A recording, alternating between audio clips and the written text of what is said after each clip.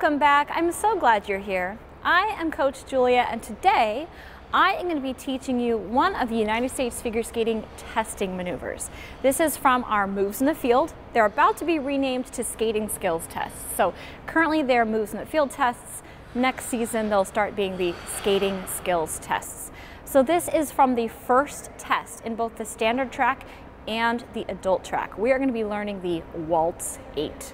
Now this maneuver, you're gonna need to have both your right and left outside three turns and I'll post a tutorial for those three turns, as well as your backward outside mohawks on both legs. So I will post a tutorial for those back outside mohawks as well, so you can brush up on those skills. But if you know how to do those skills, we can get started with this tutorial. Now for starters, we are gonna be on these two curling circles. If you don't have curling circles at your rink, that's just fine. You can also use this with a hockey circle. And I'll show you how that works in a moment as well. We just need something that will give us a center for reference. And I love using these curling circles because you can trace your waltz 8 around them and it gives you a, a, nice easy template. It is a little bit more challenging when you use the hockey circle or a line, but it definitely can be done. And that's how I did all of these tests years and years and years ago when I first took them. Okay, so you can start this on either leg. I prefer to start on my right leg, and that's what I teach my students, but it doesn't matter if you start on the left or the right. All right, so we are going to try to trace an even circle all the way around. So you can see here that there is a little crisscross in the middle of these curling circles. I'm gonna start right on that crisscross. And I'm gonna try to keep that same distance away from the curling circle as I travel around. When I'm done with my first circle, I'm gonna try to come right back to this center crisscross before I start my second circle. Keep in mind, this is a throwback from figures days where they wanted things as precise as possible. Okay, so we are gonna divide this circle approximately into thirds. The first third has our right forward outside three turn. So I'm gonna face my body towards the curling circle. Now, if your coach is teaching you a slightly different method, go with what your coach is teaching. This is how I teach my students. Okay, so my upper body is facing the circle that I'm gonna skate on. I'm gonna push onto my right forward outside edge, get those hips tucked right under, and do a three turn. And then we wanna go right back into that nice tall hip tucked under position. If you let your hips swing out on this three turn, you're gonna have trouble controlling your waltz eight. So again, I'm starting right between those two circles. My upper body is facing the red circle because that's where I'm about to go. So my left hand in front, my right hand behind me, hips tucked really strong underneath. Remember, always try to use the knees, not the hips with this kind of a thing. We're gonna push onto that right forward outside edge, get those hips under, and then we're going to turn, okay? Since we're on that curling circle, I like to turn about on the cross side, okay? So you have the, the black line that comes through here. We wanna turn right around that black line, okay? So you don't wanna turn too early. You wanna turn around the quarter of the, uh, of the curling circle, around the black line. So we have our three turn. At the top, we're gonna switch our feet and push to the left back outside. Okay, so we finished our three turn. We go three, turn, at the top, we're gonna switch our feet. And then we're gonna drop our hands through and look over our shoulder. All right, so we start with our three turn, hips under, turn. Try to hold and stay tall. Switch to that back outside edge, drop the hips through and look over your shoulder. Now we're on the other half, the other cross line of our circle, and we're gonna do our back outside mohawk. Now, it's very important not to step into a T position or you'll make a big bubble and you're not gonna be mimicking the shape of this circle. So instead, that free leg, which is right now my right leg, take it all the way behind yourself so that when you step, you're stepping back and this allows you to stay closer to your circle, okay? So don't do your mohawk with the foot in front, or you'll give a big bubble. Do your mohawk with the foot in back so that you can switch and stay right on that circle. Let me show you that with some motion. So we've switched our feet, we drop our hands through, look over the shoulder and switch.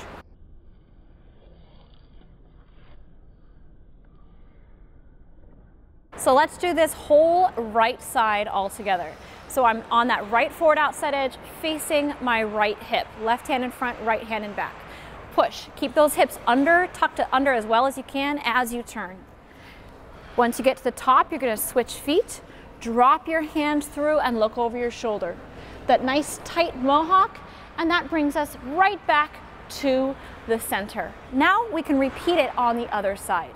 Now the cool thing about these arms, if you do them correctly, is the ending from one circle sets you up to start on the other circle. So we finished our mohawk, came around, and our right hand's in front. Well look, now I'm facing the other circle. So don't switch your hands in the middle. Let the hands from the mohawk roll right on over to the other circle.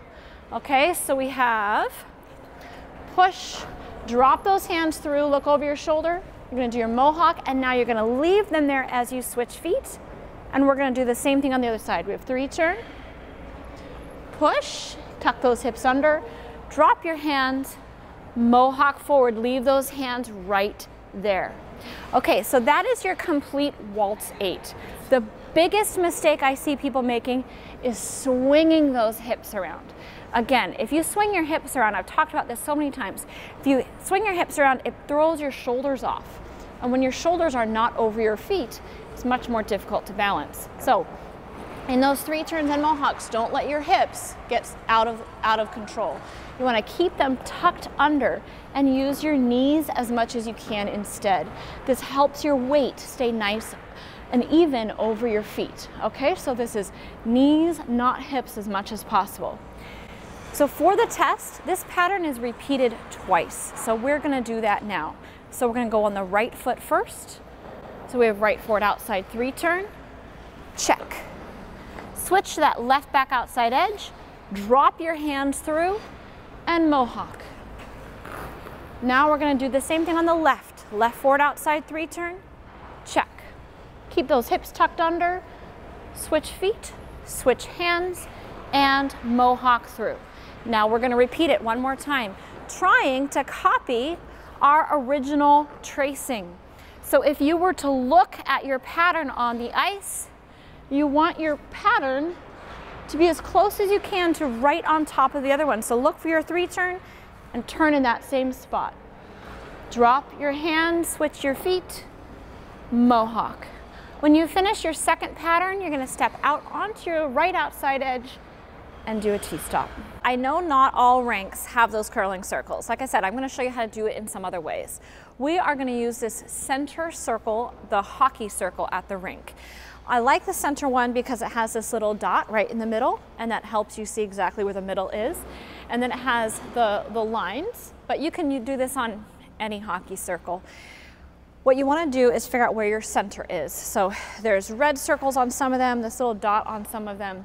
And that's where you're going to be starting your uh, waltz eight.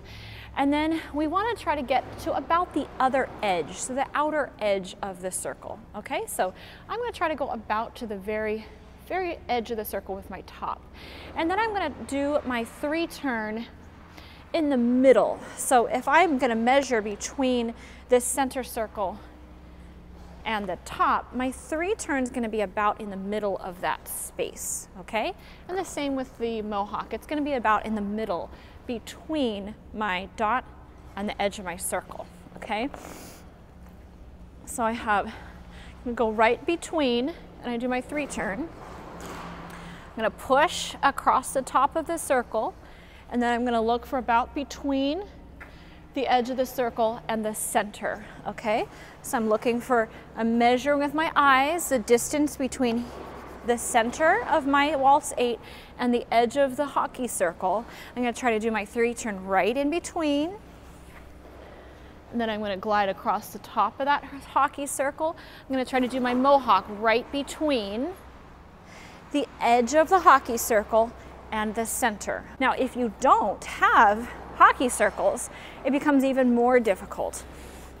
So we're going to use, if there's anything on your ice rink that you can create a center with, we want to use that as a center, okay? But if you don't have anything, if your ice rink is perfectly white or whatever color, you're gonna create a little X. Okay, and that X, you can't see it very well, but I just created a little X for myself and that is the target I'm always gonna come back to. Okay, now what I can do is try to uh, eyeball how big I want my circle and I'm gonna go out here and I can see my X and I'm gonna come right in line with that and I'm gonna create a little mark on the ice where the edge of my circle is gonna be. Now I'm going back to my X and I'm gonna try to eyeball approximately the same distance away to create the other edge of my circle. Okay, so if you don't have any markings on the ice, you can still do this. So I'm coming back to my X, my center, and I can see my two marks. Okay, you gotta keep those in mind. And now you're just gonna have to eyeball a circle. You're gonna do your three turn between your center mark and your edge mark. You're gonna skate across that edge mark and do your mohawk between the edge mark. And here's my center X. Okay, three turn, eyeball it between the two. Skate across your edge mark and do your mohawk, getting you back to that center X. I know that's difficult for you to see, and this is the hardest way of doing it, but we got to work with what we got. So if you don't have a circle to guide yourself on, you can do it just by marking, or if you have a big marker, you can draw those on the ice and it makes it a little bit easier for you to see.